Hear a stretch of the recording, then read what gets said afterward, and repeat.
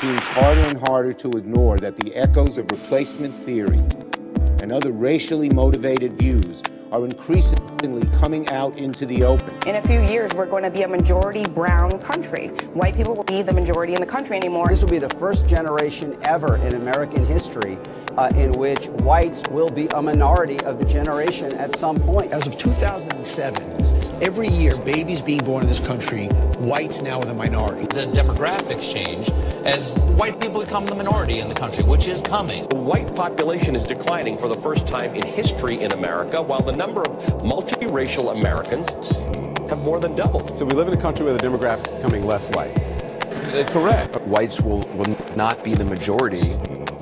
I mean, that's it's an exciting transformation of the country. It's an exciting evolution uh, and you know progress of our country in many different ways. The white population is declining. It, it was always on the upswing. So that speaks to the beautiful diversity of America.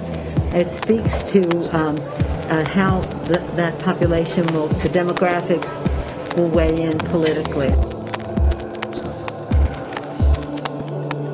An unrelenting stream of immigration, non-stop, non-stop. Folks like me who are Caucasian of European descent for the first time in 2017, we'll be in an absolute minority in the United States of America. Absolute minority. Fewer than 50% of the people in America from then and on will be white European stock. That's not a bad thing. Diversity is now, in some parts of Europe, seen as a threat. Diversity comes with challenges.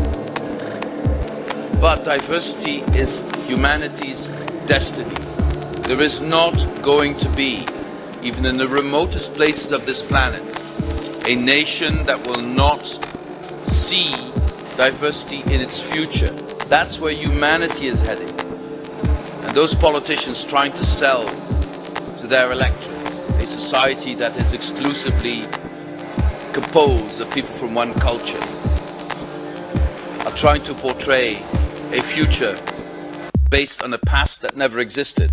Generational thing? Oh, absolutely.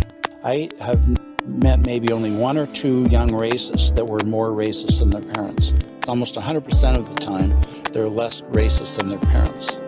So, part of this greater America that we see on the horizon and that is arriving daily is just simply waiting for old white guys like me to die off. We're going to have a new America. And you're okay saying that? Oh, absolutely. With a smile. Oh, yeah, sure. Everybody's going to be better off when my generation is gone. Everybody's going to be better off. That there is, we immediately surge to the border. All those people are seeking asylum. They deserve to be heard. That's who we are.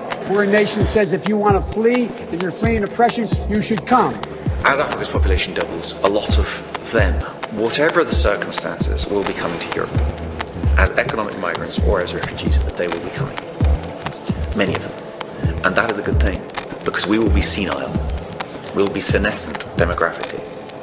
We will need their youthful energy to do stuff. That's just what the economic statistics tell you and the demographic data demands. You know, demography is destiny. Europe and Africa are going to have a very close 21st century. White British population has decreased by 600,000, while the minority population has increased by 1.2 million. So, yes, lads, we're winning. Children from white families in Birmingham are set to become a minority group for the first time when this year's census is collected in March. The latest census suggests white British born are now in a minority. Census Bureau says white will be a minority. The UK is never going to be white again. It's just not going to happen. People can wish it, but it's not realistic. Europe is not going to be the monolithic uh, uh, societies that they once were in the last century. Jews are going to be at the center of that. It's a huge transformation for Europe to make. They are now going into a multicultural mode, and Jews will be resented because of our leading role. But without that leading role and without that transformation, Europe will not survive.